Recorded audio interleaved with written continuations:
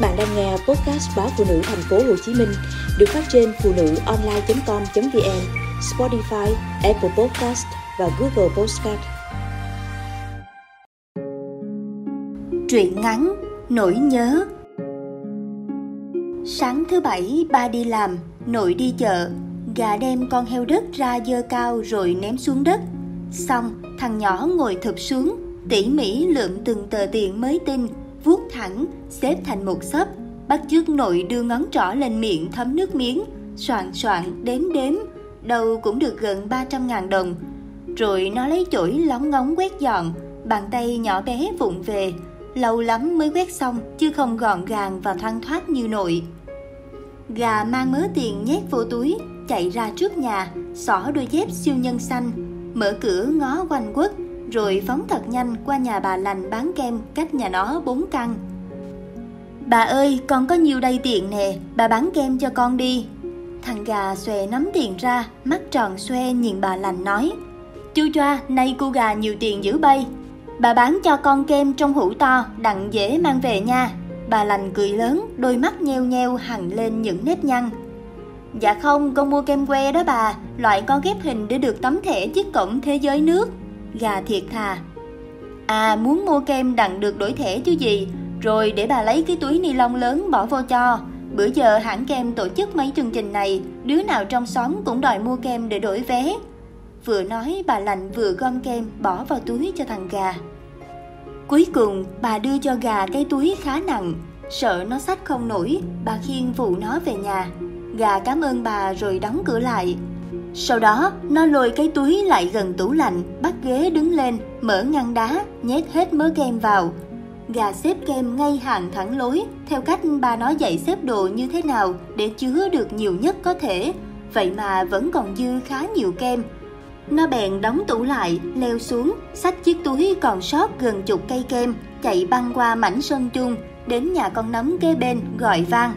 Nấm ơi, sữa ơi, rang kem nè, Hai đứa con gái trạc tuổi gà đang coi tivi trong nhà chạy ùa ra mở cửa. Sau đó, ba đứa vừa ngồi xem tivi vừa ăn kem ngon lành. Ăn hết luôn hả gà? Ừ, muốn ăn bao nhiêu thì ăn, chỉ cần nhớ đưa mình mấy tấm thẻ.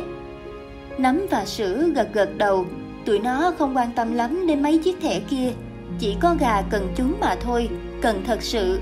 Cần đến nỗi nó có thể cho bất cứ ai hết thảy đồ chơi trong nhà nó chỉ để đổi được tấm thẻ tấm thẻ giúp nó tìm một thứ quan trọng nhất đời nó.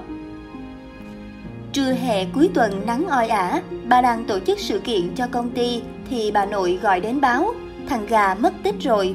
Bà quýnh quán giao luôn công việc cho đồng nghiệp, nháo nhào chạy về nhà trong tâm trạng ngột ngạt, xen lẫn khiếp đảm, khiến chiếc xe máy suýt chút tông vào cột điện. Cái trạng thái mà bà chỉ mới gặp hai lần trong đời, lần đầu tiên cách đây gần một năm.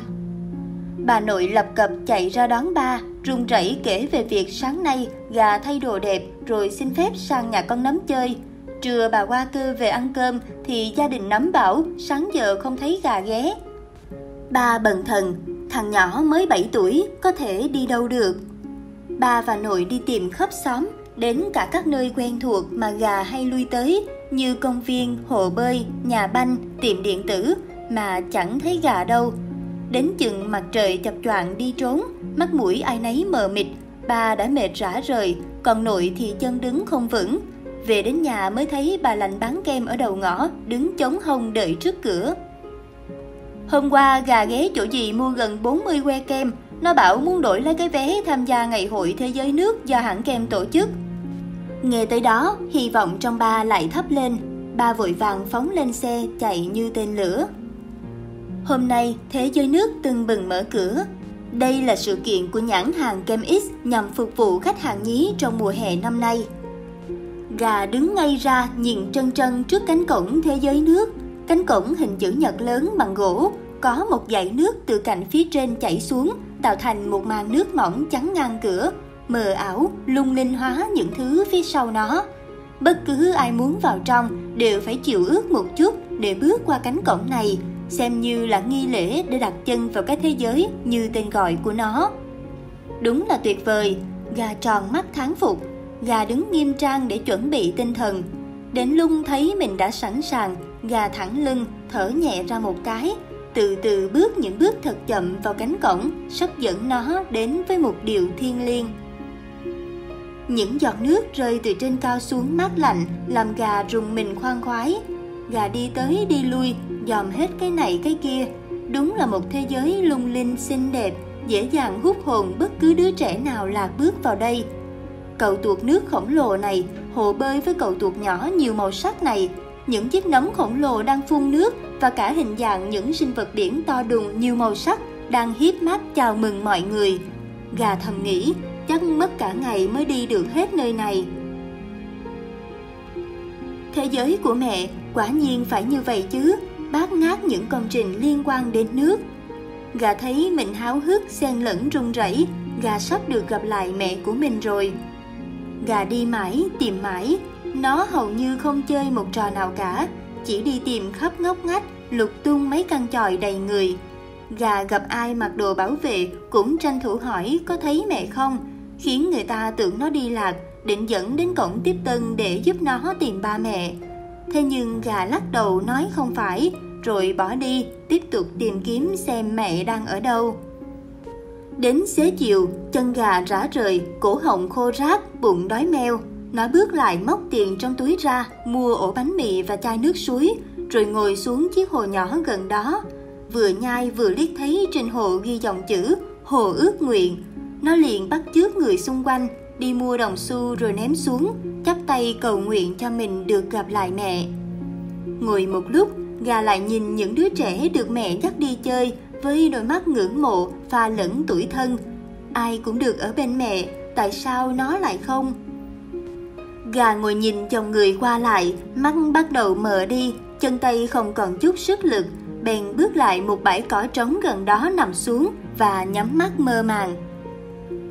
Trong lúc nửa mê nửa tỉnh, nó đột nhiên nhớ đến mẹ. Nó nhớ đến những khoảnh khắc nằm gục trên đùi mẹ trong những chuyến đi chơi mệt. Mẹ vừa cười vừa vuốt ve tóc nó, mặt nó và thì thầm hát ru nó ngủ. Nấm hay nói mẹ của nấm không hề hát ru nấm ngủ nên gà cảm thấy mình rất may mắn vì mẹ vừa thích hát lại hát rất hay. Hễ mẹ đi đâu về nhà, việc đầu tiên mẹ làm là chạy đến ôm nó vào lòng. Nó cũng nhớ, cứ dăm bữa mẹ lại gọi cho nó bất ngờ, khi thì chiếc xe tải đồ chơi, khi thì trái banh da, khi thì gói snack có vị nó mê, lung lại là đôi dép hình người nhện mà nó thích. Trước khi chìm vào cơn mộng mị, nó như chợt thấy hình dáng mẹ in trên nền trời xanh đen, một người phụ nữ tóc dài như thác đổ, đôi mắt buồn, nhưng cái miệng luôn vì nó mà mỉm cười. Nó thẳng thốt trong dạ, mẹ ơi, mẹ về với gà phải không? Gà nhớ mẹ lắm, mẹ có nhớ gà không? Ba tìm thấy nó lúc trời đã tối, khi chú bảo vệ dắt nó ra cổng sau một ngày nó lăn lộn tìm kiếm đến mỏi nhừ. Nó nhìn thấy ba hớt hải đứng trước cửa, đôi mắt nhuốm đầy lo lắng. Đột nhiên nó òa khóc nức nở, chạy ào lại chỗ ba. Ba ơi, con không tìm thấy mẹ. Ba nhìn nó bằng ánh mắt mở to, nó thấy có những vằn đỏ. Đôi mắt của ba làm nó sợ. Nó chợt nhớ ra là mình đã lén đi cả ngày rồi, chắc ba lo và giận nó lắm. Nó lập tức giải thích. Bà nội nói mẹ về với thế giới nước rồi, Nên con định đến thế giới nước tìm mẹ, Sao mẹ không về thăm con? Mẹ không nhớ con hả ba? Nó lại ôm ba khóc. Lát sau, nó chợt thấy có giọt nước rơi vào tay mình. Ngẩng đầu nhìn lên, Thấy ba cũng đang khóc. Không như gà gào lên thê lương, Ba chỉ lặng lẽ rơi nước mắt. Ba cũng rất nhớ mẹ giống con, đúng không ba? Một tuần sau khi gà đi học về Bà dẫn nó vào căn phòng thường ngày vốn là không gian đọc sách và giải trí của gia đình. Nhưng hôm nay ở đó có một căn lều màu xanh nước biển khá to. Xung quanh lều trang trí sau biển, cá, ốc, cua. Trước cổng lều treo chiếc biển gỗ màu nâu, sơn viền màu xanh. Chính giữa viết ba chữ Thế giới nước. Bà có vẻ trịnh trọng, đứng sau lưng vịnh vai nó, rồi cùng nó chậm rãi bước qua cánh cổng dẫn đến thế giới nước. Đập vào khứu giác gà đầu tiên chính là hương nước hoa mùi trái cây ngọt ngào mà nó hay ngửi thấy trên người mẹ. Ở trong chiếc lều màu xanh đó, gà thấy những dây đèn màu trắng vàng rất đẹp chạy quanh các khung hình. là hình của mẹ nó. Có tấm mẹ tươi cười đứng một mình, có tấm mẹ bồng nó trên tay, có tấm mẹ khuyến khích nó chập chững những bước đầu tiên, có tấm mẹ đùa giỡn với nó và ba trong ngày sinh nhật nó. Trong tất cả những tấm hình đó, gương mặt cả gia đình đều tràn đầy nét hạnh phúc. Chưa hết, bà ra hiệu cho nó ngồi xuống giữa lều, nơi có một tấm thảm lông cừu màu trắng và vài chiếc gối bằng lông to tròn, ôm vào lòng rất thích. Nó ngoan ngoãn làm theo lời ba. Bà mở một chiếc điện thoại nhỏ ra rồi kết nối với chiếc tivi treo phía trên cao. Gà và ba cùng nằm xuống thảm, gối đầu lên chiếc gối ôm dài, ngước nhìn. Những đoạn video về gia đình nó chạy trên màn hình TV. Những đoạn clip được quay từ lúc mẹ mang thai đến khi mẹ sinh nó, đến mỗi năm sinh nhật nó, đến những chuyến du lịch xa và cả những trò khỉ ngốc nghếch của nó nữa. Trong kìa, nó đang vừa chạy vừa la hét đuổi theo mẹ. Tiếng cười của mẹ vang xa khiến nó cũng bật cười theo. Ánh mắt nó vừa trìu mến vừa tham lam, nuốt lấy hình dáng, cử động, ánh mắt và nụ cười của mẹ. Ba thì thầm với nó. Năm ngoái mẹ đi cứu trợ lũ lụt miền Trung đã ngã xuống nước và bị lũ cuốn đi mất. Mẹ sẽ không về với cha con mình nữa. Ba cũng không biết cách mang mẹ về sau đó, lần đầu tiên suốt một năm nay, ba giải thích thật rõ ràng cho nó hiểu về chuyện một người từ giả cuộc sống là như thế nào, chuyện ba yêu mẹ nhiều ra sao, đến nỗi ba đã phải giấu hết tất cả hình ảnh của mẹ để khỏi nhìn thấy mà đau lòng, đã tìm cớ đi khắp nơi vào các ngày cuối tuần để khỏi về nhà mà vấn vương hình bóng mẹ, đã vùi đầu vào công việc để không còn thời gian nghĩ đến mẹ. Tuy nhiên, Bà quên mất rằng gà còn yêu, nhớ và cần mẹ nhiều hơn cả ba. Ba đã để gà phải chống chọi một mình, ba thật có lỗi với gà. Gà vừa nghe vừa khóc, mắt ba cũng đỏ hoe. Ba đợi cho gà nguôi ngoai một chút, rồi lại xoa đầu nó, nói tiếp. Từ nay về sau, ba con mình phải mạnh mẽ lên nha con. Mình sẽ cùng nhau vượt qua mọi chuyện và kiên cường sống tốt. Nếu nhớ mẹ, ba con mình có thể bước qua chiếc cổng của thế giới nước này để nhìn mẹ cho đỡ nhớ. Nó nhìn quanh lều, khắp nơi đều ngập tràn hình bóng và mùi hương của mẹ, khiến nó cảm thấy như mẹ vẫn quẩn quanh nơi đây cùng cha con nó. Nỗi nhớ mẹ vẫn còn đây, nhưng dường như nhờ ba, nhờ chiếc lều này mà đã phơi đi ít nhiều. Nó ôm lấy ba, dụi mặt vào chiếc bụng to của ba, sống mũi cay xè thủ thỉ. Con cảm ơn ba thật nhiều, con yêu ba